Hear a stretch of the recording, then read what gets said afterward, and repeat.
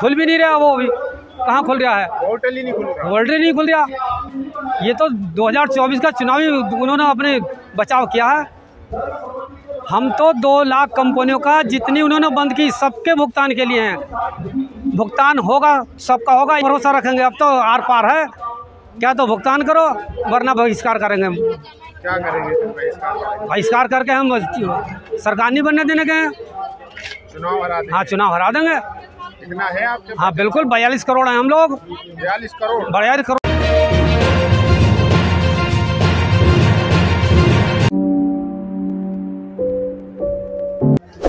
क्या नाम है आपका? मेरा मास्टर वीर सिंह है बिजनौर से। यूपी बिजनौर। या यूपी बिजनौर से। क्या मामला है? क्या दिक्कत? दिक्कत ये है कि सरकार ने इन ठगों को दो लाख ठगों को रजिस्ट्रेशन दिया रजिस्ट्रेशन दे करके इन्हें खुली छूट दे दी कि पब्लिक को लूट लो। और जब पब्लिक पूरी तरह से लूट गई तब इन्होंने तुरंत 2014 में एक एक क्लिक मार के सारी कंपनी बंद कर दी। और लुटेरों कह दिया कि तुम मौज करो और बाहर कोई विदेश भाग जाओ कोई अपने अंडरग्राउंड हो जाओ कोई भी कहीं चले जाओ। दो लाख कंपनी। दो लाख कंपनी मोदी अपने मुँह से कहते हैं कि दो लाख कंपनी बंद करी मैंने। तो अब तो उन्होंने पोर्टल लॉन्च कर दिया नहीं पोर्टल लॉन्च वो सब लॉलीपॉप है कुछ नहीं है। लॉलीपॉप हाँ लॉलीपॉप है ये। खुल भी नहीं रहा वो अभी। कहाँ खुल रहा है? पोर्टल ही नहीं खुल रहा। वर्ल्ड नहीं खुल रहा। ये तो 2024 का चुनावी उन्होंने अपने बचाव किया है। हम तो दो लाख कंपनियों का जितनी उन्होंने बंद की सबके भुगतान के लिए हैं। भुगतान होगा, सबका होगा, एक का नहीं होने का। हम बहिष्कार करेंगे। नहीं, कोई पैसा नहीं मिल रहा किसी को भी। नहीं। कोई पैसा नहीं मिल रहा किसी को। मिलेगा तो जब पहले उसके सारी शर्तें पूरी करेंगे लोग। हम लोग शर्तें पूरी नहीं कर रहे हैं उनकी। लॉलीपॉप है उनकी। हम लोग किस तरीके की शर्तें, उन्होंने आधार, पैन कार्ड, बैंक का और अकाउंट नंबर और मोबाइल नंबर ये सबका लिंक होगा, किसका होगा? गरीब, कहाँ से लिंक करावेगा किसी का आधार है, किसी का पैन नहीं है, किसी का कुछ नहीं है। किसी के नाम में करेक्शन होनी है। पार्टी ने नाम में अगर करेक्शन कराना है तो वो ब्रांच के माध्यम से हो सकती है, ये नहीं हो सकती हैं। ये नहीं करेंगे। तो कहाँ से हो जाएगा? वो अपलोड होकर के भी बेकार जाएगा। तो ये तो एक झूठी तसली दे दी पब्लिक में, जिससे कि शांति रहे। और केवल एक ही कंपनी के लिए, एक ही कंपनी का थोड़ी पैसा। और कंपनी का तो दो लाख कंपनियों का पैसा है।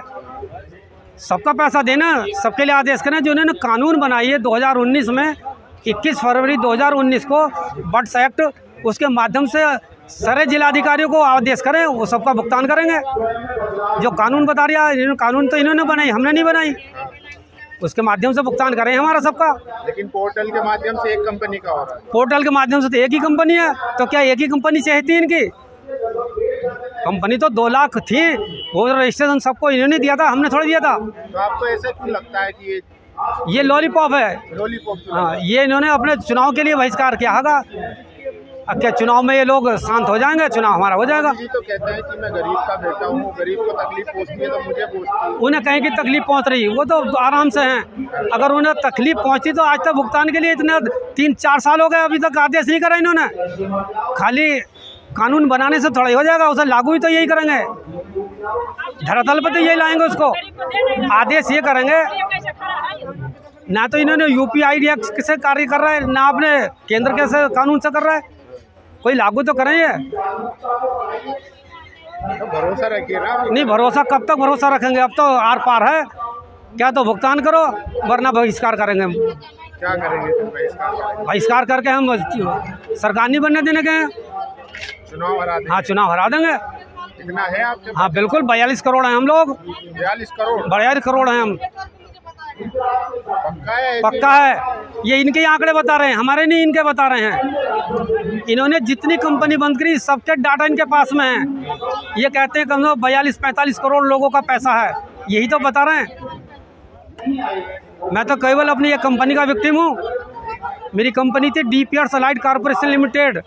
और कंपनी का जो डायरेक्टर है वो दुर्गा प्रसाद दुबे है। और दो लाख कंपनियाँ सरकार ने बंद करी सरकार ने बंद करी है। मेरे जैसी जाने कितनी कंपनी है कितने विक्टिम है उसके? बयालीस करोड़ से ऊपर विक्टिम है तो बढ़ावा दे रही थी कि जो स्मॉल बिज़नेस है स्टार्टअप इंडिया तमाम स्कीमें लेके आई थी। नहीं तो बंद क्यों की फिर उन्होंने ये? किस कारण से उन्होंने इनको लाइसेंस दिया और क्यों बंद कर दी? ये तो यही जानते हैं। और बंद करी तो उसका भुगतान का इंतज़ाम भी इन्होंने किया। अगर जो ज़िले का जिलाधिकारी सक्षम अधिकारी वो देगा। फार्म जमा करा लिए इन्होंने फार्म जमा रहे हैं करा रहे हैं बड़े आराम से करा रहे हैं लेकिन भुगतान के लिए कार्रवाई नहीं कर रहे हैं। उसको U P P I D act पर नहीं अपलोड कर रहे हैं ना ही एक्ट के पोर्टल पर अपलोड कर रहे हैं। सबके फार्म की रद्दी बनी जाए छः छः महीने हो गए फार्म जमा कराए हुए? हाँ गड़बड़ है इनकी नीयत खराब है। वो क्यों करेंगे? वो तो कहते हैं ना मेरे आगे ना पीछे कोई मैं क्या तो उनके आगे पीछे तो फिर क्यों नहीं गरीब भी सुन रहे? गरीबों का ही तो पैसा है। मालदारों ने तो मालदार तो इनकी कुर्सी में बैठे हैं बराबर में। अठारह घंटे काम करते हैं। अजी वो चौबीस घंटे भी कर रहे हैं लेकिन गरीबों के लिए तो कोई ऐसा नहीं है। हाँ जो योजना है वो अच्छी हैं लेकिन ये तो बहुत बड़ी योजना है इन, इनके लिए। बयालीस करोड़ लोगों का पैसा जो गरीब जिन्होंने अपने पेट काट का पैसा जमा किया वो तो सब इनके जो चहेते लोग हैं। मंत्री संतरी जिनके द्वारा ये कंपनी चली थी, उनके पास में है गरीब कहाँ जाए? लाखों एजेंट तो आत्महत्या कर चुके अब आत्महत्या करने कगार पर जा रहे हैं लोग। अगर भुगतान नहीं होता तो क्योंकि ग्राहक आकर के बदतमीजी करते हैं? मैं खुद भुग भोगी हूँ। मेरी घरवाली इसी बिरे में होकर मर गई। जब ग्राहकों ने आकर तंग करा बहुत ज़्यादा तो ब्रेन हेमरेज हो गया, खत्म हो गई वो। अब किसके पास जाओ मोदी के पास जाओगे मेरे घर वाले दूसरे डाल दो कोई? आपके घर वाली मेरे जैसे जाने कितने बेकार हो गए हैं, बेरोजगार हो गए हैं।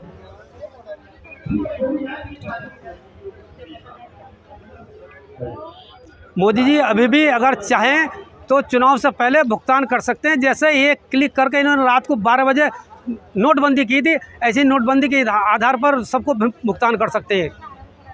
सबका डाटा इनके पास में है, हर कंपनी का डाटा, मास्टर डाटा इनके पास में है। किसका कितना? आपको? क्यों नहीं कर रहे हो? अब ये जाना क्यों नहीं कर रहा है? वो तो कहते हैं कि गरीबों की सरकार तो सरकार है गरीबों की तो पैसा क्यों नहीं देता गरीबों को ये?